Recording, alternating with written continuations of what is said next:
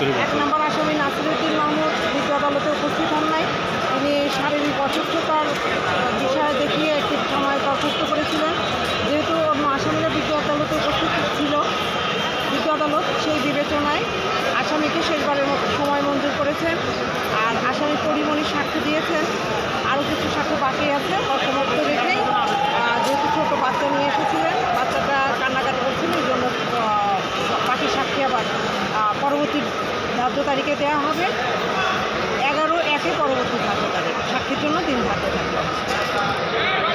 আমরা সাক্ষীর জন্য দিন দায়িত্ব ছিলেন বিজ্ঞ আদালতে। আমরা রাষ্ট্রপক্ষে অট্টমালার বাদী পরিমণিকে উপস্থাপন করে বিজ্ঞ আদালত সুন্দরভাবে তার বক্তব্য আংশিক লিপিবদ্ধ করেছেন এবং আগামী এগারো এক তেইশ তারিখে আবার পুনরায় সাক্ষী হবে।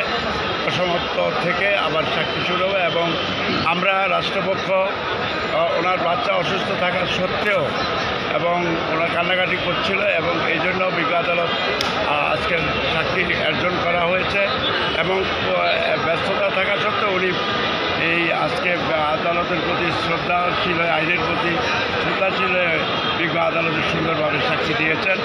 আমরা আসামি নাসিরুদ্দিন মাহমুদ আজকে নেই। ওনার পক্ষে আইনজীবী একটা সময়ের দরখাস্ত করেছেন এবং শেষবারের মতন তার দরখাস্তটি বিজ্ঞ আদালত মঞ্জুর করেছেন। এবং আমরা রাষ্ট্রপক্ষ উক্ত মামলাটি সাক্ষীর মাধ্যমে প্রমাণ করতে ইনশাল্লাহ সক্ষম হব। ধন্যবাদ আপনাকে